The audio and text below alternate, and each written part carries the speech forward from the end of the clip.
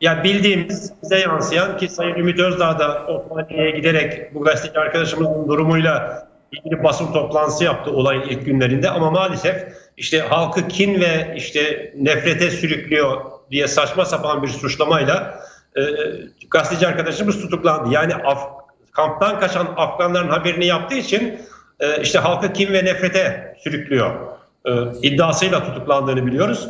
Dolayısıyla bu haksız bir suçlama. Gazetecilik suç değildir. Bunu öncelikle iktidarın e, öğrenmesi lazım. Bizim yargı organlarımızın da, savcılarımızın da, mahkemelerimizin de gazeteciliğin hiçbir koşulda suç olmadığını öğrenerek buna göre karar vermeleri gerekir diyerek e, bu konuyu noktalıyorum. Peki. Ee, Tarım kredi kooperatifleri sizce fahiş fiyatların düşmesine, dengelenmesine vesile olabilir mi? Ya şimdi tabii biraz önce Sinan Bey çok güzel söyledi. Yani Sayın Cumhurbaşkanı talimat vermeye o kadar yani alışmış ki. Yani talimatla fiyat düşürüyorlar. İşte efendim AK Parti MKYK toplantısında durum değerlendirmesi yapılırken efendim tarım kredi kooperatiflerinin marketlerinde fiyatların yüksek olduğu bunun üzerine Sayın Tarım Bakanı Vahit Kirişçi MKYK'nın üyesi olmadığı halde hemen acilen toplantıya çağrılmış. Bilgi istenmiş ondan Sayın Cumhurbaşkanı ve MKYK üyeleri tarafından. O da anlatmış işte durum böyledir falan diye. Ondan sonra Sayın Cumhurbaşkanı demiş ki ya tarım kredi marketleri kar amaçlı değil. Fiyatları düşürün. Ya Söyle, aynı toplantıya genel- Enerji Bakanlığı da çağırıyor. Sıkıntılar giderilsin diye. Tabii ki niye Çok yapılır bu özür dilerim bir toplantılar? saniye. Ben niye bir çağırdı şunu ki sormak adam. istiyorum. Niye çağırdı Ee, Genelde bu ki. MKYK toplantılarında zaten bakanlar gidip vermiyorlar mı her Hayır, MKYK hangi- Durum tespitinde Bu bulundu. Niye çağrıldı demedi, niye bir itiraz şey mi ediyorsun? Ali Bey? Efendim? Niye itiraz ediyorsunuz? Adam durum Ya. tespitinde bulundu. Hayır ben de onu söylüyorum ama bunun neresinde yanlış var? Bir yanlış var demedi ki. Ya talimat vermeye Hayır, alışmış bir bir Yani Cumhurbaşkanının bir talimat bir vermeye hakkı yok mu ya? Peki Şaban Sevinci dinlemeye Murat. devam edelim. Anlatayım. Yani şimdi bak bir bir sistem var, bir düzen var. Devlet bir düzen içinde işler değil mi? Sayın Cumhurbaşkanı işte tek adam sistemi atamalar yapıyor. Ya daha birkaç ay önce, 3-5 ay önce Tarım Kredi Kooperatiflerinin genel müdürünü Fahrettin Poyraz'ı eski Bilecik milletvekiliniz değiştirdiniz. Neden değiştirdiniz? Ya bu hayat pahalılığında Tarım Kredi Kooperatifi marketleri yeterince e, piyasa düzenleyiciliği Şaban yapan Bey değiştiriyoruz. Niye değiştirdiniz? Atama Ya. yapılıyor. Niye atama yaptınız? Hadi Görevden değiştir. alıyoruz. Niye görevden aldınız? Göreve getiriyoruz. Niye getirdiniz? Ne yapmamız lazım? Onu söyleyin. Ali Bey bir dakika. Yani liyakatlı, bakın liyakatli. Tarım kredi kooperatiflerini gereği gibi yönetebilecek nitelikte bir kişiyi atasaydınız, Sayın Cumhurbaşkanı'nın ya burası kar amaçlı değil fiyatları düşürün diye talimat vermesine gerek kalmazdı.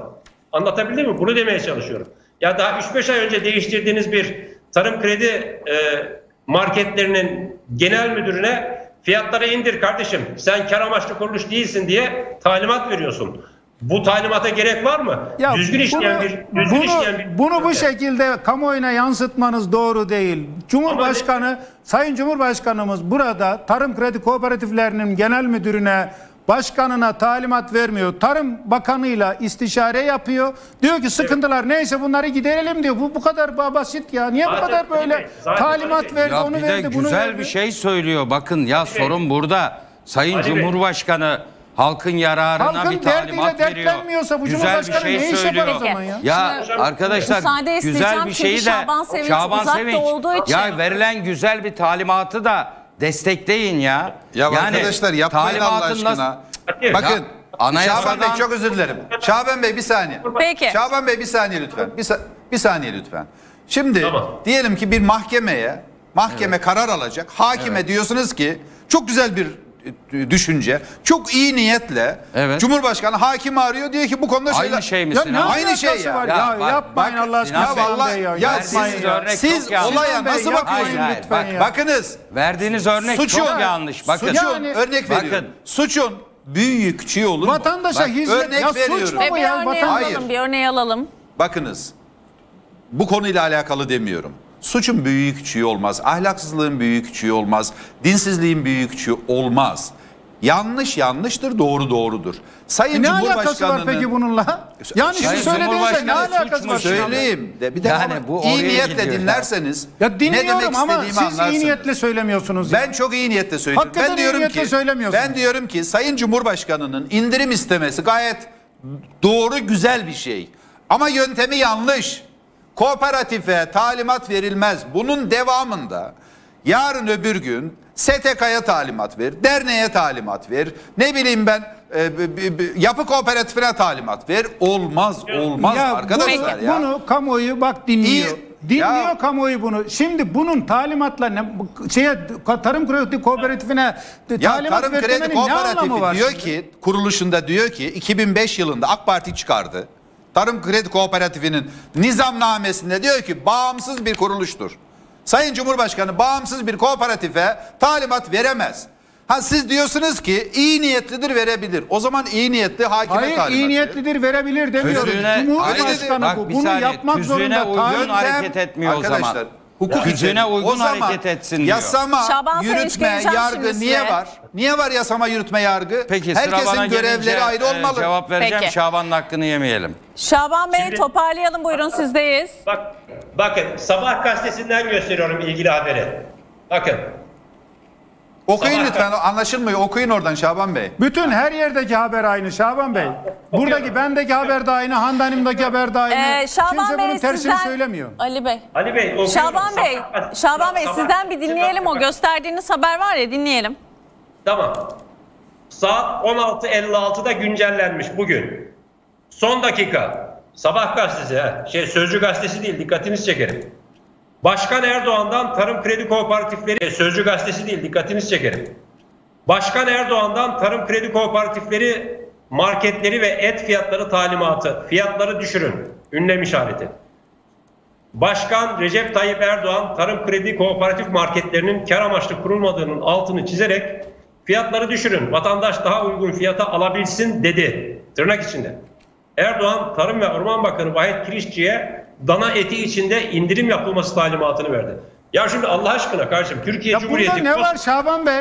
Ne var bunda? Cumhurbaşkanı Tarım Bakanı'na talimat veremez mi? Bu bakan Ali Bey anlatsın Bir bir duyalım. Bir duyalım. ya Sayın Cumhurbaşkanı'nın Allah aşkına başka işim yok. Dana etinin fiyatıyla hem de e, Tarım Kredi Kooperatifi marketindeki dana etinin fiyatıyla ilgileniyor. Ya Sayın Cumhurbaşkanı'nın işi mi yok? İstanbul'da Balıklı, Balıklı Rum e, hastanesinde yangın çıkıyor.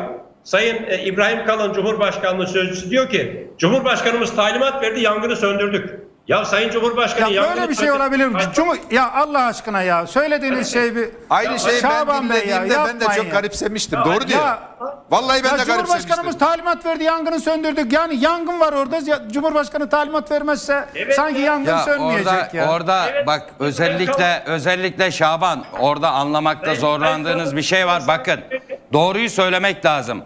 Ya Tamam, Sayın. Cumhurbaşkanı Balıklı Rum Hastanesi Türkiye'deki azınlıkların hastanesidir tamam mı? Evet, Bakın evet. şimdi azınlıklarla ilgili konularda da Cumhurbaşkanının hassas yaklaştığını gösteren bir talimattır bu İbrahim Kalın. Yoksa Polatlı'da çıkan yangınla ilgili bugüne kadar duydunuz mu? Cumhurbaşkanı Polatlı'daki yangını söndürün talimatı verdi diye. Ya bunu bu kadar Ya çarpıtmak yangını doğru değil. için çab- Burada- Cumhurbaşkanının talimat Burada Sayın İbrahim yoktur. Kalın'ın altını çizmeye çalıştığı Balıklı. Rum Hastanesi azınlıkların hastanesidir. Sayın Cumhurbaşkanı da Niye böyle bu bir ayrım, niye böyle bir ayrım yapmaya gerek duyuyoruz? Ayrım yap, ayrım Cumhurbaşkanı talimat- şimdi, o Ya ayrı bir yanlış tartışma arkadaşlar. konusu. Ayrım- Sizin dediğiniz ne Sinan Bey? Cumhurbaşkanı bir Yanlış yangın ya. söndürülmesi talimatı veriyor. Bakın sizin eleştirdiğiniz o. Bu sıradan bir yangın olarak görülmediği için Hayır. Sayın Kalın bunun Eşit altını baksanız, vatandaşa Ama eşit oradan oraya baksanız- oradan oraya Vatandaşa eşit baksanız Evet. bu aynıdır. Eşit zaten, Benim eşit orada bakılıyor. azınlığa mensup vatandaşım da eşittir. Evet. Sıradan bir Doğru. Yozgat'ın bir köyünde eşittir. Doğru. Eşittir. Ama, Ayrım yapmayacaksınız. Ama azınlığa mensup bunu, herkes... bunu vurgulayıp hatırlatmayacaksınız. Bak, Siz hangi azınlıksınız ülkede ha olursa olsun. Sinan Bey sen Hayır. çok iyi bilirsin bunu. Hangi öyle bir ülkede şey- olursa olsun Sayın azınlığa talimat mensup insanlar kendilerini bir şey orada olmaz. Herkes garip hissederler. Bak Almanya'daki Türkler de orada azınlıktır. hissetsin vatandaşlarımız. Bakın ya Almanya'da bir Türk hastanesi yansa diyelim ki E, Almanya Başbakanı'nın Türk hastanesinin söndürülmesi için talimat verdiğini söylenmesini kimse garip karşılamaz. Ama Arkadaş- burada bakın burada Sayın Nelerle Cumhurbaşkanı'nın anayasal yetkilerini kullanmasından duyulan bir rahatsızlık var. Ya bundan rahatsız olmayın. Sayın Cumhurbaşkanı'nı Biz- halk seçti. biz halk sistem işlesin istiyoruz, kez. sistem. Ve halk verdi bu yetkiyi Sayın Cumhurbaşkanı'na. Latif Bey, sistem ve işlesin. anayasadan aldığı yetkiyi Yangını kullanıyor. söndürmesi gerekenler gitsin söndürsün. E, gidip söndürüyorlar dana zaten. etini, dana etini düşürmesi gerekenler Şaban gitsin Bey, geleceğim. söndürsün. Ya Cumhurbaşkanlığı için dana eti değil. Geleceğim gördüm Hayır. sizi. Bunun Yok öyle şey. neden Ya Cumhurbaşkanı oluyorsunuz ya? sistemi kurmaktan sorumludur. Bak, Cumhurbaşkanı rahatsız- öyle bir sistem kurmalı, öyle bir liyakatli sistem kurmalı ki o dana etinden sorumlu adamlar var ya, o dana etinden sorumlu adamlar. Yetkili, e, liyakat sahibi insanlar olsaydı o dana eti bu, bu noktaya Bak, gelmezdi. bunu. Dana yetiştiriciliği Bak. kusura bakmayın. Dana yetiştiriciliği şu an ne durumda biliyor musunuz? Gel, gelin o dana yetiştiricilerine bir sorun. Ne durumda olduklarını görün. Sistem kurmakla sorumludur geleceğim. yönetici. Geleceğim. Yönetici sistem kurmakla sorumludur. Türkiye'de adam gibi bir sistem kursaydınız Cumhurbaşkanı dana etiyle uğraşmazdı. Gidin yurt dışında bunu söyleyin size gülerler. Cumhurbaşkanının dana etiyle uğraştığını söyleyin. Sizin başka bir işiniz Ya yok mu arkadaşlar? Cumhurbaşkanının halkın gıda sorunuyla ilgilenmesinden daha doğal ne istiyorum. olabilir ya? Tamam. Yani Ben- bütün Ali- Ali dünyanın Ali cevap Bey bir saniye. istiyor. Ya bakın siyasetçisiniz Sinan Bey. Bütün Evet. dünyanın gıdaya Ah, ulaşmada zorluk çektiği bir dönemde yani Niye? Rus ve e, Ukrayna tahıllarının e, piyasaya ulaşması için dört gözle beklendiği bir dönemde bütün Avrupa'da, bütün dünyada gıda fiyatlarının son 40 yılın en yüksek düzeyine ulaştığı bir dönemde bir devlet başkanının gıda fiyatlarıyla ilgilenmesinden daha doğal bir şey olabilir mi Peki. ya? Şimdi geçiyorum Şaban Sevinç'e. Buyurun sizdeyim. Şimdi Handan, Noktalayalım ama bunu. Sonra da Latif Bey'e geçeceğim. Peki şimdi Ben Sayın Cumhurbaşkanı dana etinin fiyatının düşürülmesi konusunda talimat vermiş. Peki kuzu etinin fiyatı ne olacak? Çayın fiyatı. Düşürüldü. Yüzde 25 düşürüldü. Şaban Bey, tatilde olduğunuz fiyat- tatilde olduğunuz için farkında Ee, değilsiniz. et ve süt, Ali e, süt kurumunda kuzu etine %25 Tatilde- indirim yapılmış. Tatilde dana eti yiyorsun sadece anlaşılan Şaban. Yüzde 25 Kuzu ucuzladı etlerinde kuzu yüzde eti. 25 indirime gidildi. Bildiğim kadarıyla kuzu butun kilosu 85 liraya düştü. Peki Latif kuzu etinde de talimat verildi mi Sayın Cumhurbaşkanı? Sadece dana eti için. Ya, çok ben şimdi gereksiz cevap bir vereceğim. noktaya Sizin sözünüzü takılıyorsunuz kesmemek ya. için uzaktasınız. Yani Arkadaşlar bakın. Ba- tatiliniz Arkadaşlar, tatilinizi bozmamak için sesini sözünüzü kesmeyeceğim. Burada cevap vereceğim şimdi. Teşekkür Tamam. Şimdi şunu demek istiyorum. Bakın biraz önce Sinan Bey, bakın biraz önce Sinan Bey gerçekten çok güzel bir şey söyledi. Hiç güzel bir Devletin- şey söylemedi. Katılmıyorum ona. Hayır, ya siz katılmıyorsunuz da ben katılıyorum. Şaban'a göre Devletin- güzel Ali Bey. Herkesin Arkadaşlar- güzellik anlayışı farklı.